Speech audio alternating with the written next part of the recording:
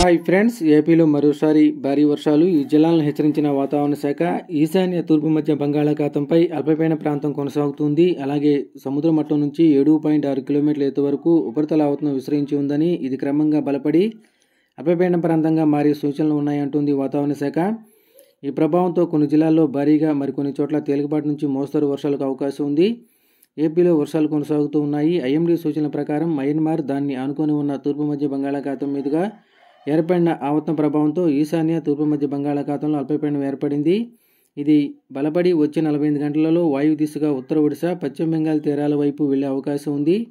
అంతేకాకుండా కొంకిన్ ప్రా పరిసరాల్లో ఉన్న ఆవర్తనంతో దక్షిణ కొంకిన్ గోవాకు ఆనుకొని తూర్పు మధ్య అరేబియా సముద్రంలో మరొక అల్పపీడనం ఏర్పడింది. ఇది కూడా ఇరవై నాలుగు గంటల్లో తీవ్ర అల్పపీడనంగా బలపడే బలపడి అదే ప్రాంతంలో కొనసాగుతుందని వాతావరణ శాఖ అంచనా వేస్తోంది. ఈ రోజు నుంచి ఉత్తర కోస్తా వ్యాప్తంగా భారీగా వర్షాలు పెరిగే అవకాశం ఉందని వాతావరణ శాఖ తెలియజేస్తుంది. అల్లూరు సీతారామరాజు ఏలూరు కాకినాడ ఎన్టీఆర్ పార్వతీపురం ప్రకాశం అన్నమయ్య నంద్యాల కడప జిల్లాల్లో భారీ వర్షాలకు అవకాశం ఉంది.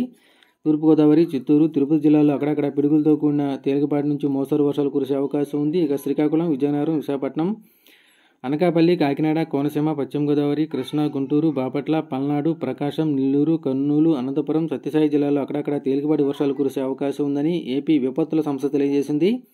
దీంతో ప్రజలు అప్రమత్తంగా ఉండి తగిన జాగ్రత్తలు తీసుకోవాలని వాతావరణ శాఖ తెలియజేస్తుంది. ఈరోజు ఈ వీడియో మీకు నచ్చినట్టయితే మా వీడియోని లైక్ చేసి షేర్ చేయండి.